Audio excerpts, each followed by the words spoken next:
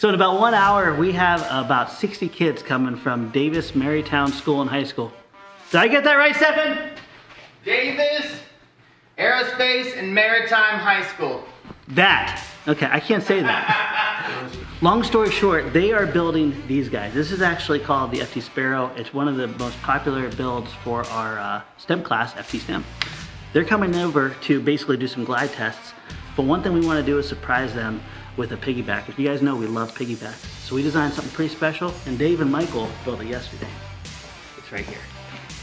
Basically, this is a large version of the Sparrow, but it has two motors, and the best part of all, it has a piggyback mechanism right on top. So basically, when they come out here do their glide tests, we'll be able to take it up another level and surprise them and launch it from altitude. So how much time do we have? Um, something like an hour, I think. Okay. So hopefully this works. If it does, this is gonna be really cool. Very good. It's just the wind. good? Yeah, that was a downwind launch. So. Yeah, yeah, we're downwind. Oh, it's sure. fantastic. Whoa. Yeah. So I think we need to brace that top. See how the plane Yeah, I'm, I'm seeing the the small sparrows kind of Yeah. like leaning back and forth and shifting its weight. Yep.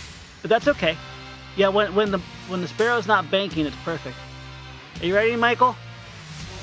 Whoa! Three, two, one, release. Oh, that's Oh, perfect. Wow, it came right off of there. That's beautiful. I could actually feel the difference of lift when when he uh, released it. I'm holding the back elevator now. Oh, wow, that thing's just soaring up there. Is it? Oh, geez, it is. I shouldn't have gone up that high. I have a feeling we might be walking for a little while. That's like a tank. Yeah, you're on the ground, and I don't think the sparrow's lost any altitude Oh yet. my golly. Really? We're way past it. Oh, tree.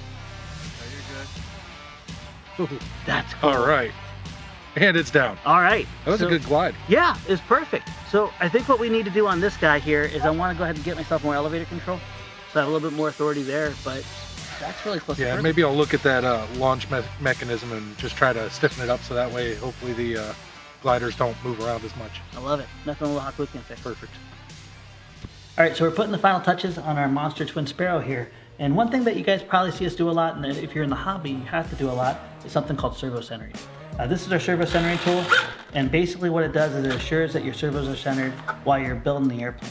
Now this tool is awesome, but it also requires a little bit of knowledge to hook it up properly, and if you do it wrong, it can damage it.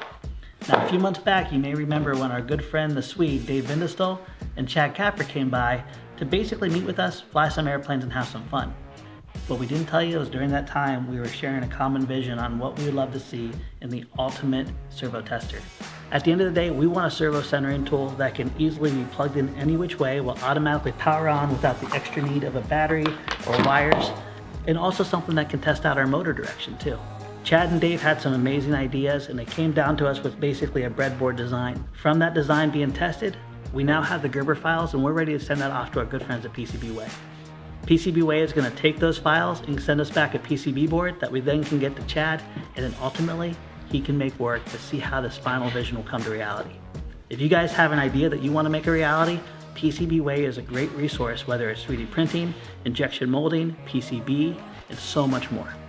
Make sure to check them out in the link below. We use them all the time when we have to have something made quickly and efficiently and done right. And if you want to learn more about Hack Make Mod, please check down in the link below.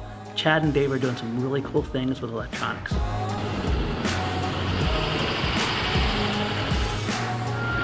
What do you think about this, Devin? It's awesome. So we got uh, Davis uh, Aerospace and Maritime High School here today. Um, as I think Josh mentioned, we got about 40, 50 kids, something like that. We're gonna be chucking some gliders. We're gonna be buddy boxing. We're gonna be uh, dropping airplanes from really high. We're gonna be touring the facilities and hopefully just giving these kids a little opportunity to see what life is like in, in the aerospace industry, um, but also in the RC industry and what we do here uh, to hopefully inspire them to continue to live on their dreams as well. So um, we're really looking forward to it, not only doing that, but also meeting all the kids. Um, it's always fun to meet new people, so I'm excited. So what are you guys doing? So they're going to be doing their glide tests on ReadiBoard Runway here. And to help us measure so it doesn't take as long, we put hash marks every 10 feet. I'll tell you what, if anyone gets beyond this point, that's pretty incredible. Basically, what they're required to do is they got to build airplanes, they got to fly them, and then they got to make three pretty extreme modifications to try to make them more stable.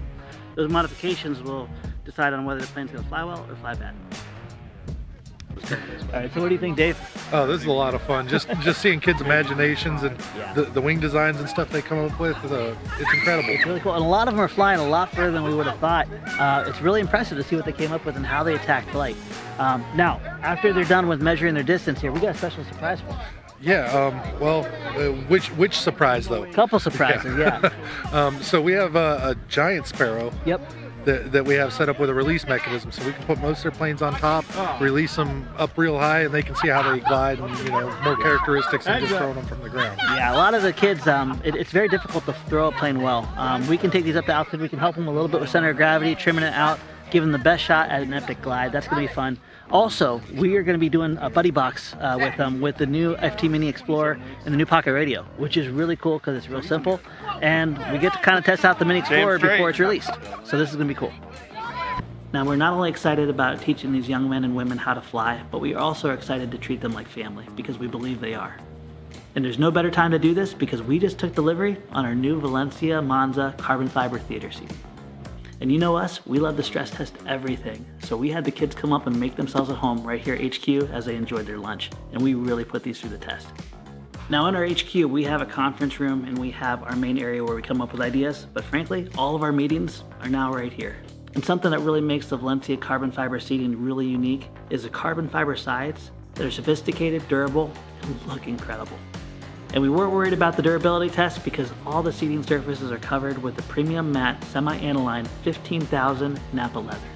These chairs are not only built for durability and function, but they also are built for style.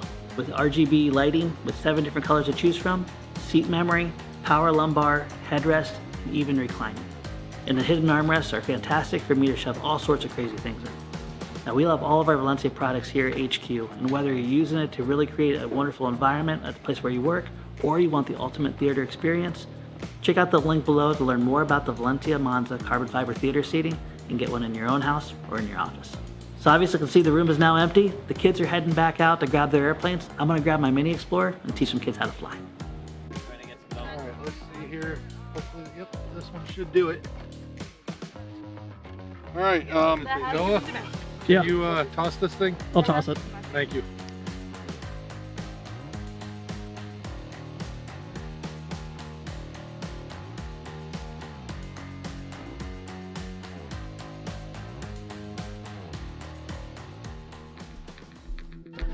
So, friends, we want to just take a moment to thank each and every one of you. Uh, we would not be here today without you. And the vision of what Edgewater is, where we can open up to the community, to schools, to outreach ministries, and to so much more, has really become a reality. Uh, if you guys ever want to use this location uh, for education, for improving people's lives, just know that we want to work with you. And also, with our FT STEM program, we have over 10,000 kids currently doing programs like this across the country and even across the world. If you want to know more information about that, check down in the link below because we want to grow the world of flight. We want to build relationships along the way, and we want to inspire a lot of kids like what you see behind us. What a special.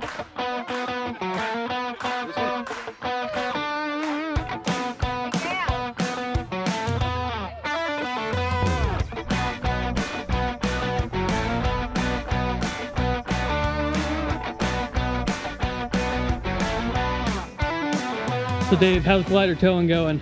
It's going really well. Um, airplanes are doing really good considering uh, what some of them look like from their earlier uh, tossed or test glides, I guess would be what it's called. But they're they're really solid planes. I'm, I'm surprised.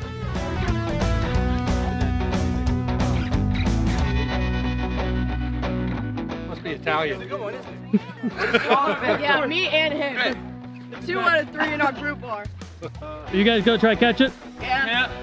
Who's gonna get it? We gotta go all the way up that hill. Give me a, um, give me a frame. I'm definitely getting. I don't know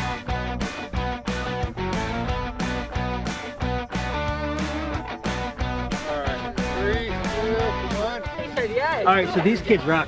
Yeah, it was a lot of fun. They had a lot of creative ideas, and most of them worked quite well. They did. They did. Once you launched them up the altitude, was amazing. Yeah, I think we need to redesign our uh, plane for towing though. Yes. The Sparrow doesn't have the controls I think we need for towing, but it worked. We got it done. Well, the cool thing about this Sparrow, this Sparrow is going to actually go home with the students here so they can continue to experiment. the cane on the wall. What a special memory. Yeah, a lot of fun. So guys, if you want to learn more about our FT STEM program, make sure you check the link down below. huge shout out to the school here for coming out, making our day. It was real special. Yeah, yeah, huge shout out to Davis High School. They did a great job and they inspire a lot of kids. So they're a blast. All right, don't forget to subscribe. We'll see you next time.